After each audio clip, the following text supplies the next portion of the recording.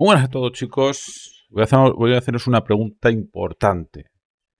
¿Queréis que el canal siga un rumbo más ampliado?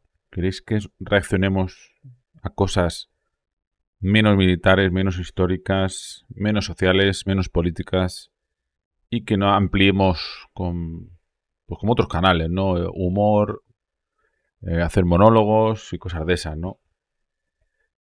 Lo puedo hacer sin preguntar, pero yo en mi canal siempre he hecho muchas encuestas, ¿no?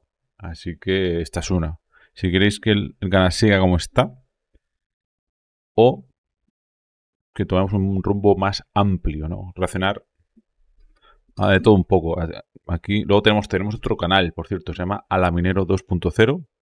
Alaminero 2.0. Que ahí es más político y filosófico, diría yo, ¿no? Eh, que es un canal pequeñito, pero ahí está, ¿no?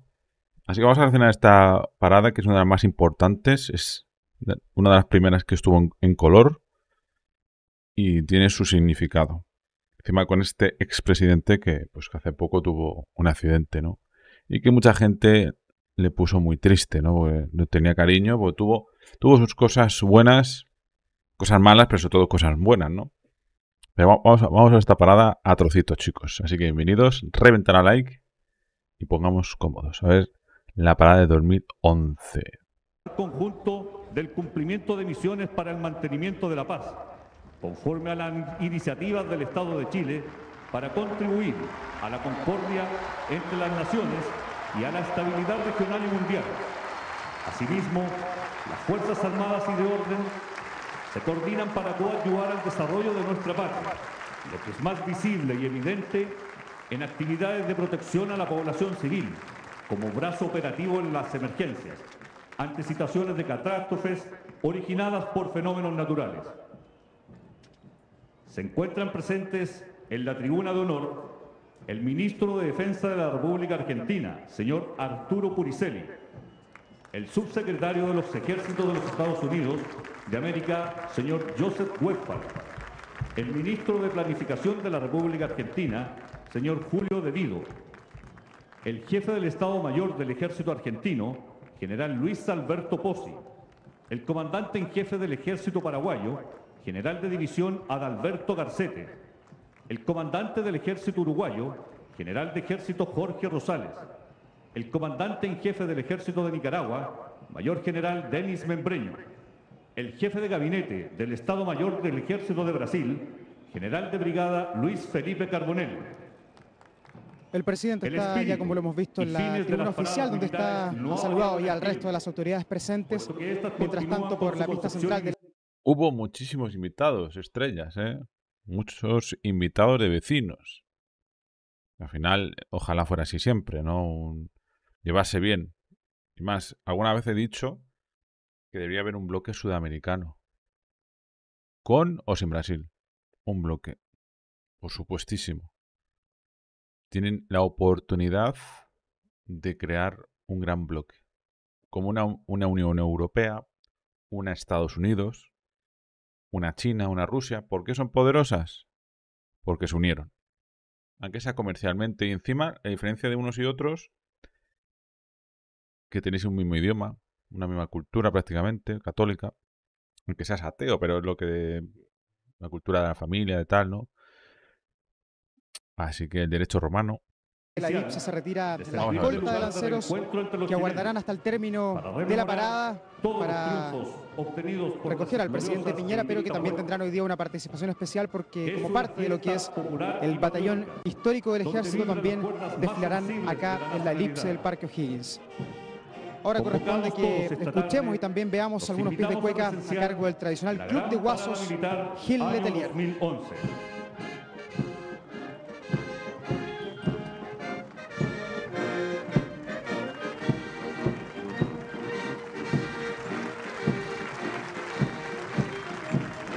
Sobre briosos corceles corraleros se acercan los guasos de Chile, hombres curtidos en los campos de la patria, hechos a fuerza y rigor y sacrificios. Aman esta tierra porque la conocen y respetan, porque han visto crecer sus frutos y es donde tienen sus raíces. desde los albores de la patria, supieron defender su territorio. Sus cabalgaduras conocen de batallas y cargas al galope, como también lo saben de arados, trillas y rodeos. Lautaro desbarató el mito de que el conquistador español y su caballo eran un solo cuerpo, convirtiéndose en el primer jinete de campo.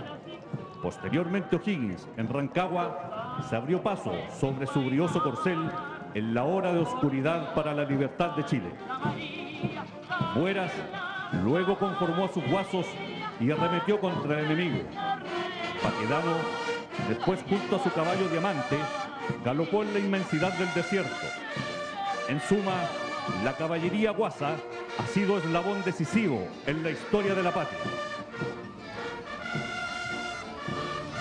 Hoy, los guasos del Club de Rodeo Chileno Gil Letelier al mantener sus tradiciones y costumbres, rememoran y representan a aquellos fieros hombres que con sus espuelas y mantas, rebenques y bravura...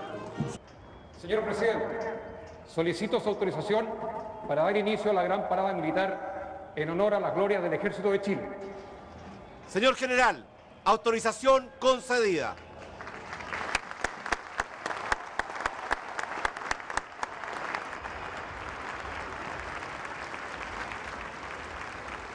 Dada ya la autorización para desfilar en honor a las glorias del ejército, ahora se viene el momento estelar y los ojos están puestos sobre el tambor mayor de la escuela militar porque ya va a comenzar esta gran parada militar del año 2011.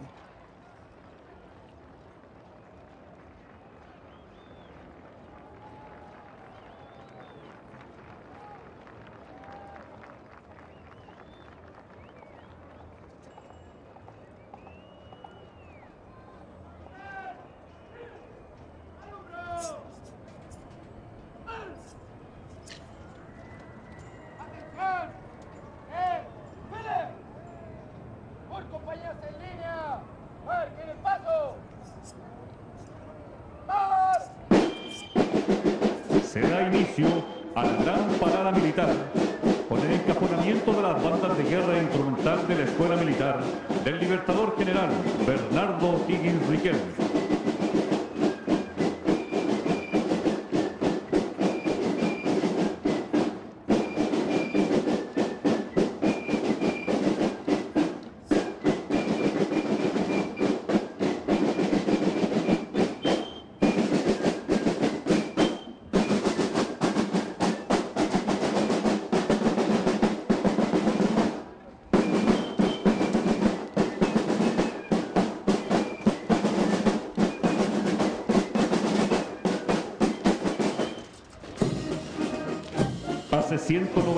194 años que el padre de la patria, libertador general Bernardo Higgins Riquelme, dio vida a esta escuela militar para la formación de los oficiales del ejército.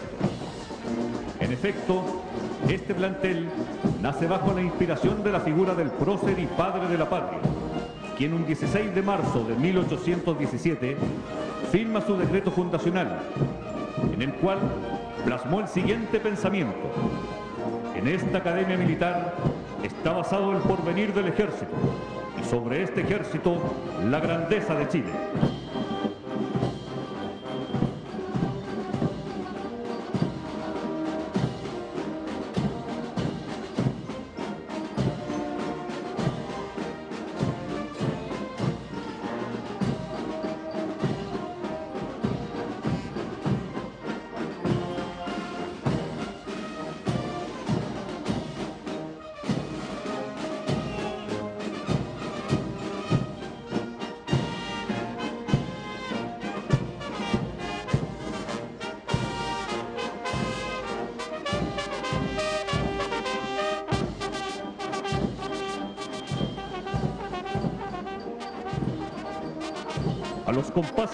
Marcha Radeski rinden honores las bandas de guerra instrumental de la Escuela Militar.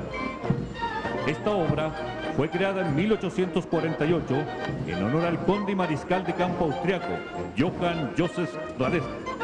Es una muestra de la influencia prusiana, constituyéndose como marcha de desfile de la Escuela Militar.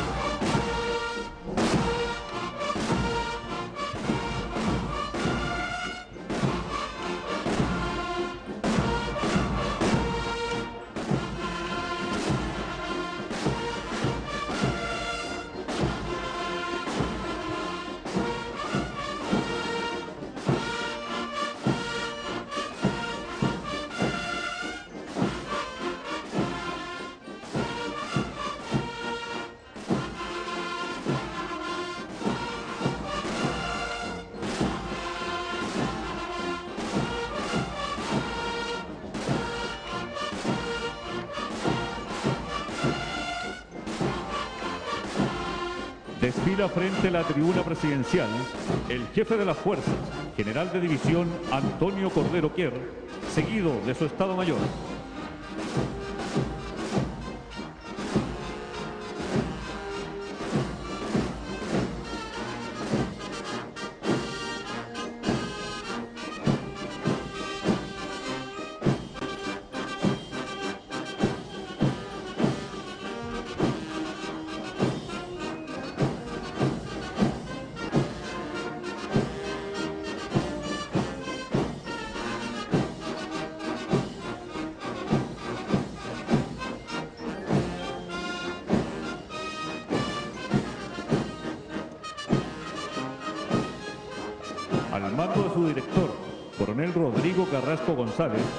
Inicia el desfile la Escuela Militar del Libertador General Bernardo Higgins Riquelme. La Escuela Militar es el instituto formador de oficiales más antiguos de Latinoamérica. En su larga existencia, ha graduado desde sus aulas a centenares de oficiales extranjeros. Una frase del Libertador, inmortalizada en bronce, identifica, resalta y materializa todos los valores que en ella se perfeccionan. Para ser oficial no se exigen más pruebas de nobleza que las verdaderas que forman el mérito, la virtud y el patriotismo.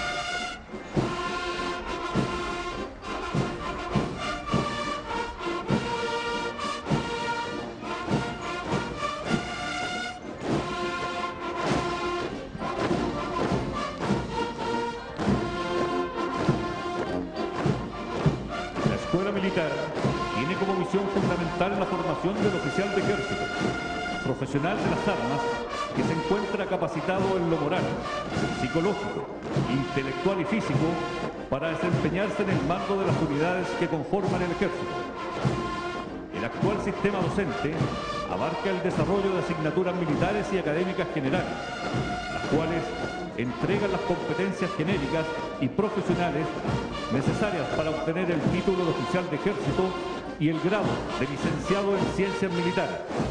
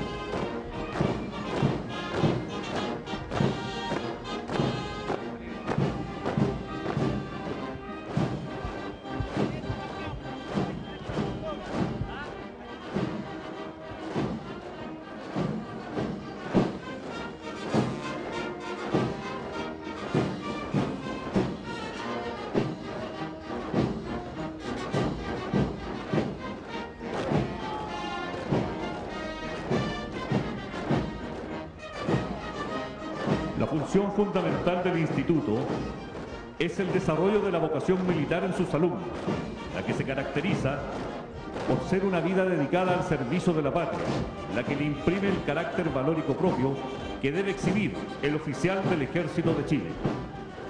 El Ejército de Chile mantiene la tradición de formar jóvenes en la noble profesión de las armas, proporcionando a la patria oficiales que comanden y lideren con decisión las unidades que se despliegan a lo largo de todo nuestro territorio, con el fin de brindar a sus compatriotas un entorno perdurable y confiable de paz y seguridad.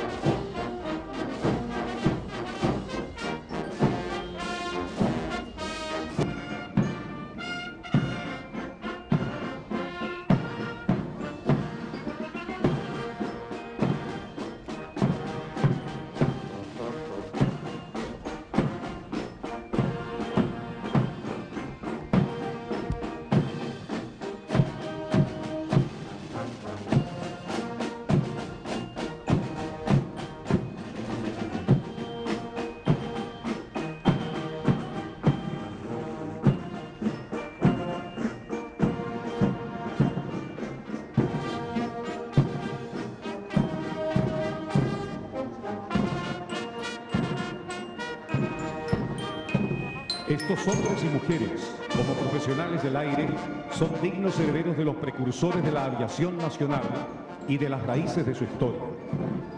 La Escuela de Aviación es un establecimiento militar de educación superior, cuyo objetivo es la formación integral de los futuros oficiales de la Fuerza Aérea de Chile, la, gente que, quienes que había, serán los encargados de operar y gestionar los sistemas de alta tecnología con que cuenta la institución para cumplir con la delicada misión de la defensa del país. No sé si por Bachelet, no lo sé, pero algunos me dicen que sí, por Bachelet, que luego volvió otra vez Piñera, algo así. Yo, yo creo que me estoy equivocando, pero me acerco. Y ya fue un poco Chile para abajo, ¿no? Un poquito. Luego ya sobre todo años después con el, el golpe de Estado, ¿no? Fue como un golpe, me, dicen algunos. Un golpe de Estado. Y ya Chile ha cambiado totalmente, ¿no? Todas esas décadas.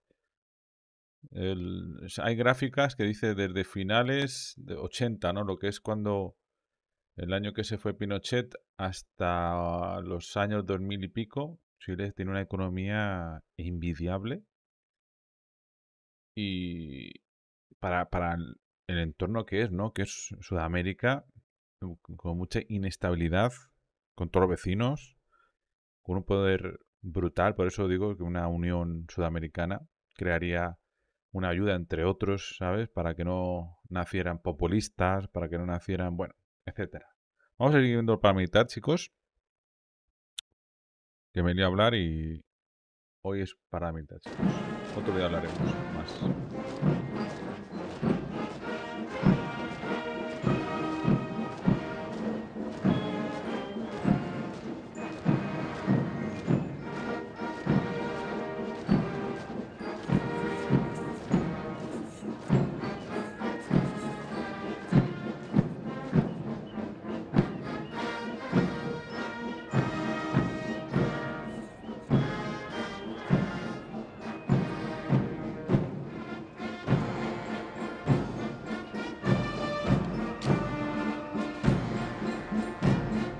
Aproximando desde el norte, abrirá la formación aérea el líder de la formación, general de brigada aérea, don Julio Frías Pistono, al mando de un avión F-16 de dotación de la Quinta Brigada Aérea.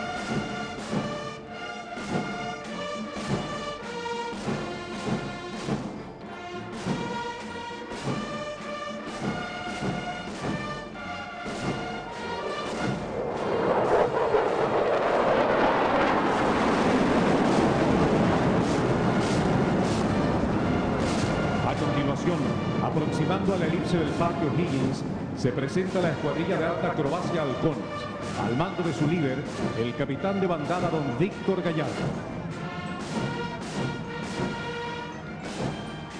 ¿Cómo han cambiado los aviones?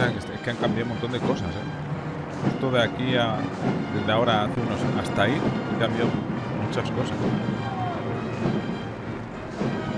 Desde el norte aproxima una formación de aviones de instrucción básica T-35 Pillán, de dotación de la Escuela de Aviación, al mando del subdirector del instituto, comandante de grupo don Marcelo Salinas Cárdenas.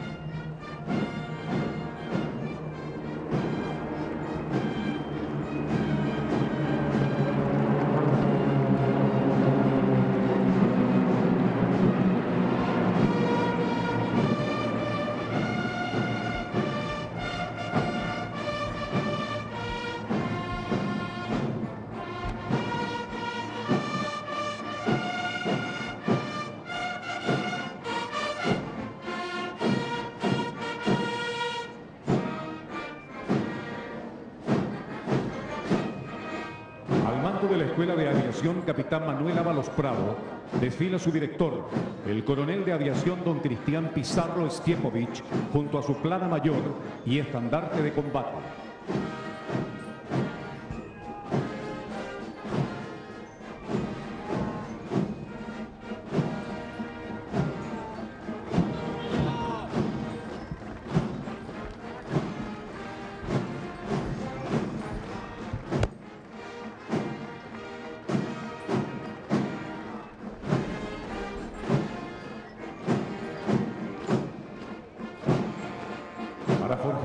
Del mañana, Este plantel entrega a los cadetes aviadores una sólida preparación militar, académica, física y valórica, permitiéndoles desempeñarse en las especialidades de piloto de guerra, ingeniería aeronáutica, electrónica, defensa antiaérea y administración.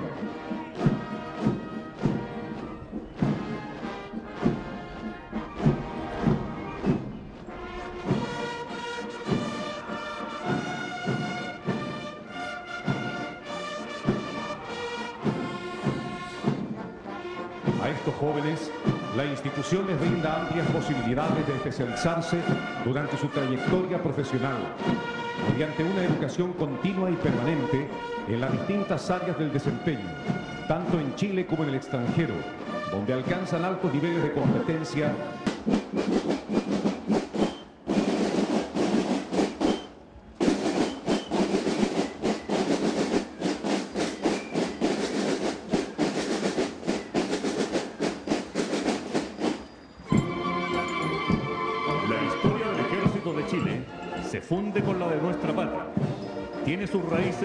siglo XVI, en el periodo de la conquista de nuestro indómito territorio, al enfrentarse en larga contienda araucanos y españoles.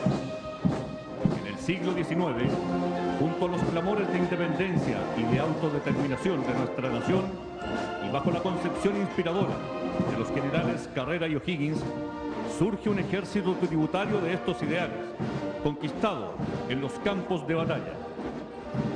El valor y la voluntad inquebrantables para defender nuestro territorio son los sustentos más nobles del alma militar chilena. Han sido elementos esenciales para la consolidación de la victoria en todos y cada uno de los hechos de armas que han dado honor y gloria a nuestra patria.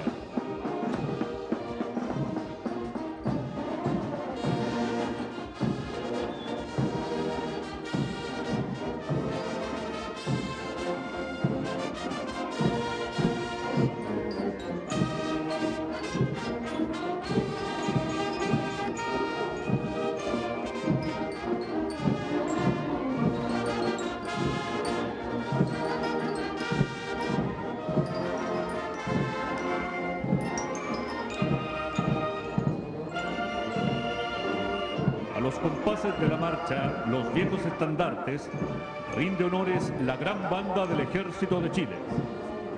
Esta agrupación está integrada por 275 soldados músicos, hombres y mujeres, formando parte de la banda instrumental y de guerra, cuya misión, junto con su vida militar, es la de entregar apoyo moral a los combatientes a través de la música. Las bandas militares se encuentran muy integradas con la ciudadanía a lo largo del país, alegrando a la comunidad con las tradicionales retretas y conciertos.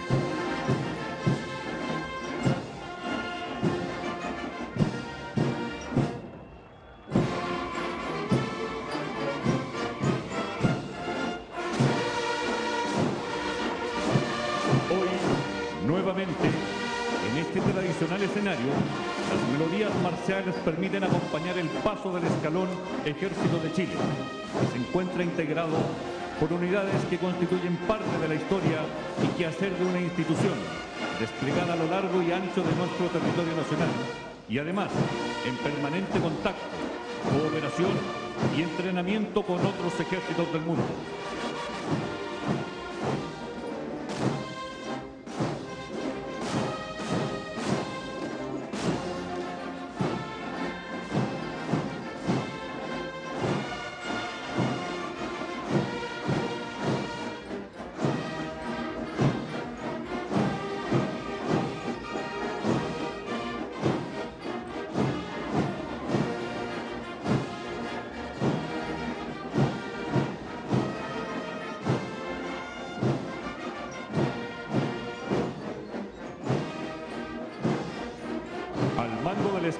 Ejército de Chile, rinde honores el general de brigada Víctor Arriagada Martínez, seguido de su cuartel general.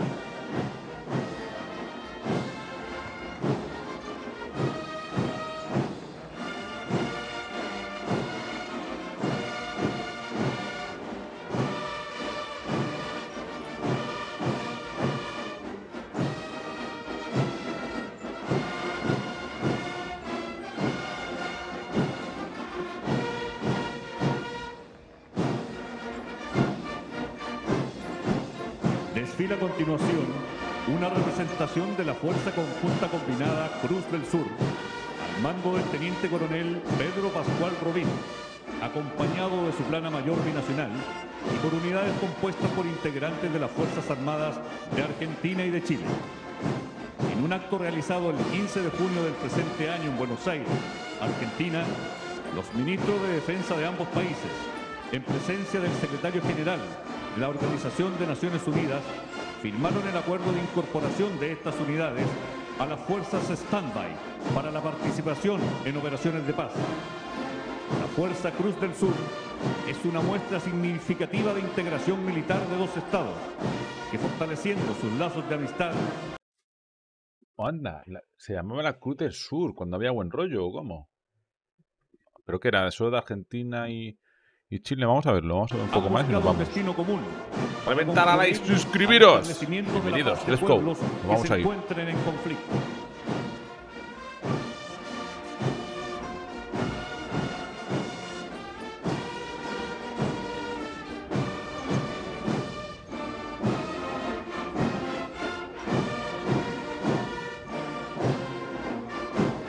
Al mando del capitán Hugo Paredes Blanchard desfilan frente a la tribuna de honor las unidades de apoyo en emergencias y catástrofes del ejército, distribuidas a lo largo del territorio nacional y conformadas por personal altamente entrenado y capacitado.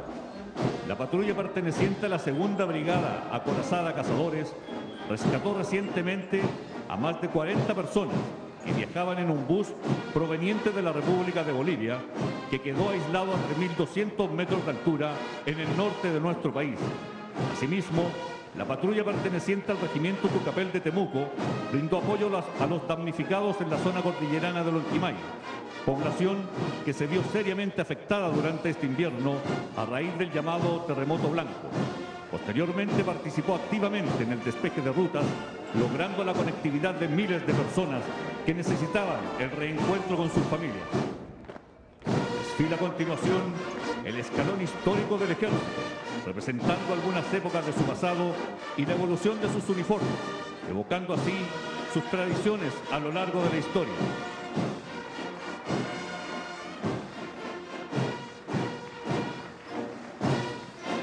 Rinde honores la unidad histórica del regimiento Win, la cual rememora al glorioso batallón granaderos de Chile, creado el 2 de diciembre de 1810 y cuyo primer comandante fue el coronel Juan de Dios Vial Santeliz.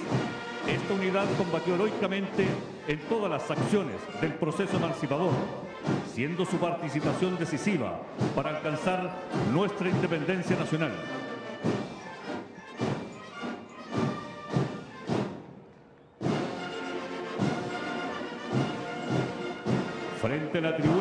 Desfila la cuarta compañía del regimiento Chacabuco. Esta gloriosa unidad, con uniformes de influencia francesa, evoca aquellos 77 oficiales, suboficiales y soldados que entregaron sus vidas en el cumplimiento del deber, escribiendo con su sangre las más gloriosas páginas de nuestra historia militar.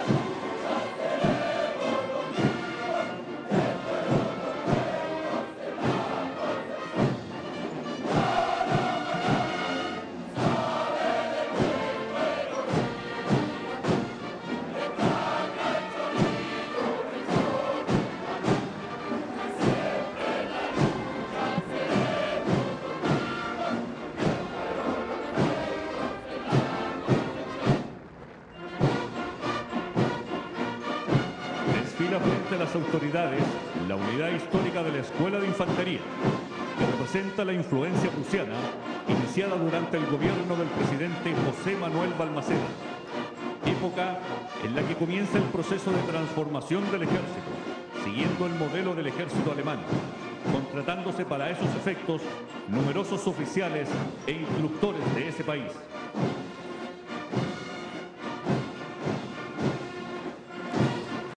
¿Alemán o, prusiano?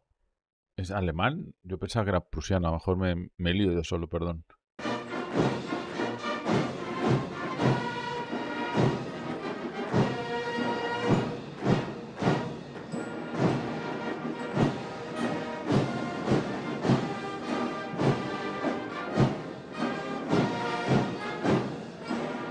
A los sones de la marcha, dragoneantes en desfile y al mando de su director, coronel Martin Borkheim, inicia el desfile la Escuela de Suboficiales